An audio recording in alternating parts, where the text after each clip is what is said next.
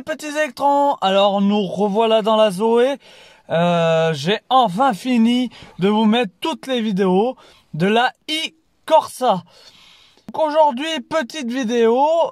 J'espère que ça va aider euh, un YouTuber qui m'a posé une question. Depuis qu'ils ont mis une mise à jour sur sa voiture, il n'arrive plus à se connecter avec son téléphone la voiture. Donc l'application MyRenault ne marche plus en connexion avec la voiture. C'est dommage parce que sur les nouvelles euh, Zoé Z250, eh ben on peut s'en servir pour démarrer une charge, pour mettre toutes les portes sont fermées, que vous vous êtes fermé à clé dedans et que vous chargez par exemple, vous pouvez mettre le préchauffage pour avoir chaud pendant que vous chargez.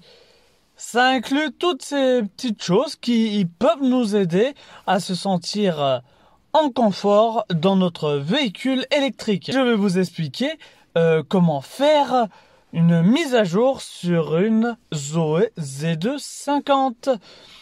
Alors sur les anciennes, ça doit être pareil. Je vais demander à mon collègue qui en a une euh, de nous la prêter pour que je vous fasse une vidéo sur les mises à jour des anciennes et des nouvelles. Alors là, je vais vous faire sur la nouvelle, la Z250. Euh, sur les anciennes, elle va arriver plus tard, mais c'est pareil, on fera au mieux pour que vous compreniez tout de chez tout. Et alors n'hésitez pas à mettre un gros pouce bleu, à vous abonner en mettant la cloche bien noire et en mettant un petit commentaire en bas de cette vidéo. Alors voilà notre écran d'accueil de notre fameuse Zoé Z250.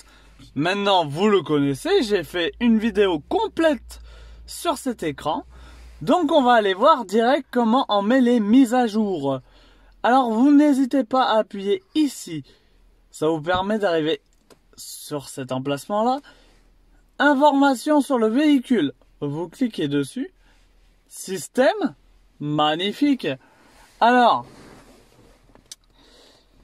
état des mises à jour.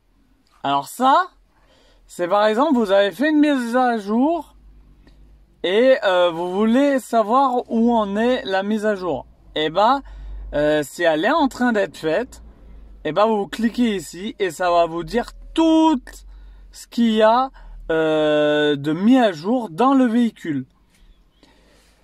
Ici, vous retrouvez un reset des mises à jour. En fait, ça réinitialise toute la voiture. Ça va remettre à la mise à jour de euh, quand vous l'avez acheté. Il n'y aura plus de mise à jour. Donc, il faudra que vous remettez une mise à jour. Ou sinon, bah, si vous voulez vous voyez que ça marche pas la nouvelle mise à jour, ça vous permet de retourner à l'état d'usine au niveau des mises à jour. Donc là, eh ben c'est mettre à jour le logiciel. Donc qu'est-ce qu'on va faire? On va le mettre à jour pour voir s'il y a des nouveautés. Donc voilà, vous arrivez ici. Alors, version du logiciel, c'est celle-là. Hein, que vous voyez bien, celle-là, c'est celle qui était avant que je vais le remettre à jour. Donc là, bah, c'est le numéro de série du véhicule.